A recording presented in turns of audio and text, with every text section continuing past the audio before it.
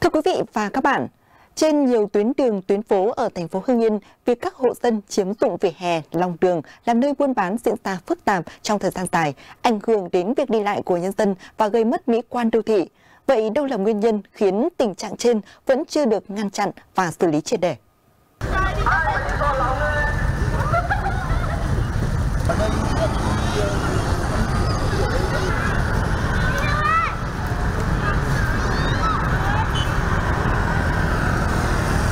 Quan điểm tôi thì nhìn lại nó không đẹp. Đây là cái nơi gọi là ờ, công cộng để cho trẻ em vui chơi hoặc người già người ta đi bộ.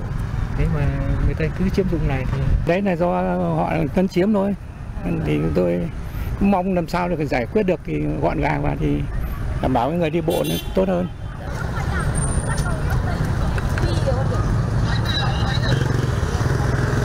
ta linh động thì mình bán hàng này tốt rồi À. còn người ta không linh động mà ta bắt thì mình phải chịu thôi chứ ai trong một hơn chục năm nay rồi ra nước hơn chục năm nay rồi hồi nhà này đã ra đâu?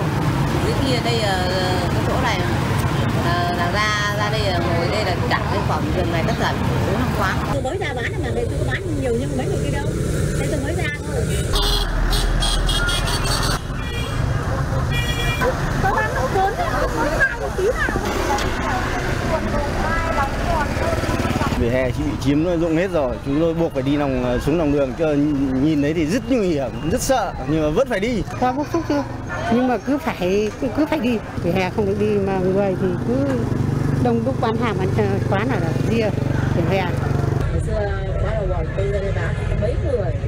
Còn giờ giờ mới đông này chơi xe cũng người tôi ra đây từ năm 2000 Cái cô bán hàng trên vỉa hè này người, người ta không xử phạt à? Thỉnh thoảng thôi. Người ta cũng phạt vài lần.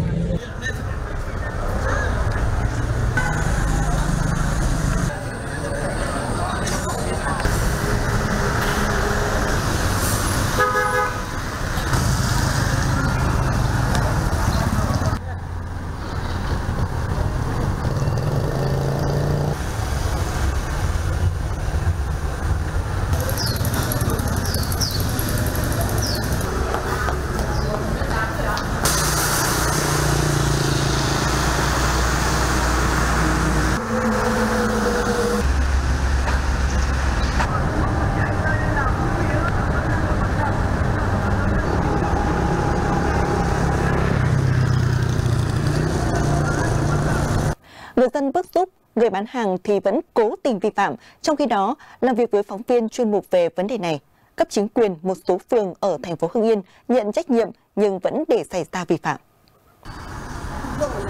trách nhiệm của địa phương thì chúng tôi cũng, ờ, cũng làm hết ừ, khả năng của mình thế nhưng mặc dù thì nó hãng còn hạn chế về vấn đề quản lý và vấn đề tuyên truyền thế cho nên một số người dân thì hiểu biết nhưng một số người dân thì cũng còn thực ra hãng còn dựa dẫm. À, tới đây chúng tôi cũng à, còn có những cái mà thiếu sót thì chúng tôi tiếp tục khắc phục. Chúng tôi đã có những thời điểm là trực luôn ở tại đấy để không cho người ta bán hàng đấy.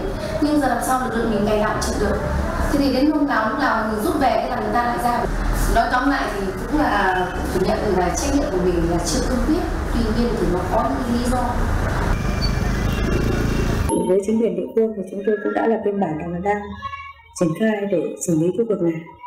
Thế và với tư cách của lãnh đạo địa phương thì cũng nghiên cứu rút kinh nghiệm về cái này. Là trong thời gian tới thì chúng tôi sẽ quyết liệt hơn trong cái việc thực hiện đảm bảo cái hành lang an toàn giao thông. Chúng tôi cũng sẽ thành lập đoàn làm việc trực tiếp với công ty. Thế còn trong trường hợp mà công ty ờ, không di chuyển và không chấp hành cái cam kết thì chúng tôi cũng báo cáo lãnh đạo thành phố và chúng tôi cũng sẽ thực hiện cái việc là tự giải quyết. Qua phản ánh trên cho thấy để xảy ra tình trạng chiếm dụng về hè lòng đường ở thành phố Hưng Yên trong thời gian dài là do sự buông lỏng quản lý của chính quyền cơ sở và sự vào cuộc không thường xuyên, thiếu kiên quyết của các cơ quan chức năng. Một ống kính phóng viên tuần này xin được khép lại tại đây. Những vấn đề cần phản ánh kiến nghị, đề nghị quý vị gọi điện đến đường dây nóng 0363 089 089 hoặc nhắn tin trên fanpage tin tức Hưng Yên 24 trên 7 gạch ngang HITV. Xin cảm ơn quý vị và các bạn đã theo dõi chương trình. Thân ái chào tạm biệt.